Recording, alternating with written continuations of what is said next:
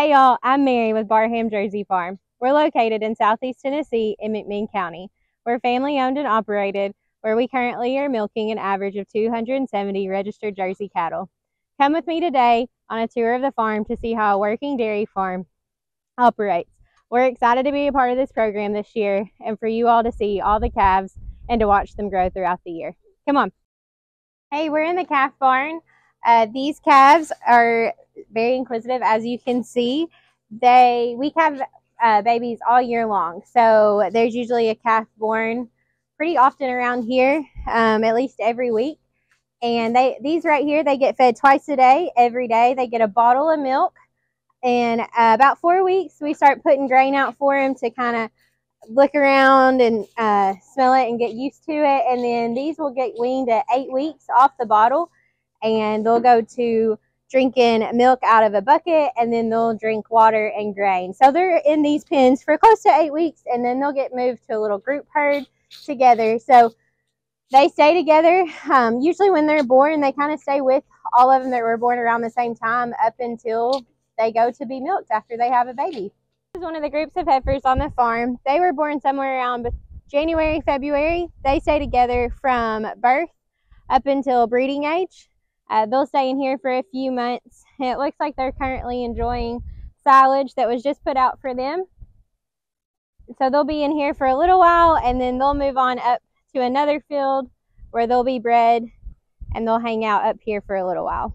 We're up at the close-up barn. These are all of these are some of our pregnant cows. These cows are due within the next two weeks before they have their baby.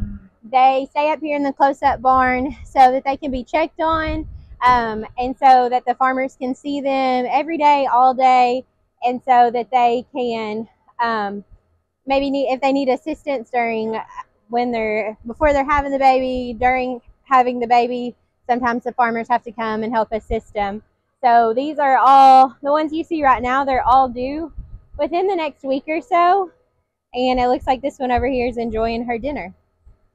We're up here with the milk cows. This is where the cows stay between their PM milkings and their AM milkings. They have fans on them during the cool, uh, during the hot months so that they stay cool. They have access 24/7 to food and water. They lay in their sand beds. So that's three things you want on a dairy farm. The cows need to feel comfortable, hydrated, and well fed. They uh, eat a mixture of silage, which they have access to 24/7.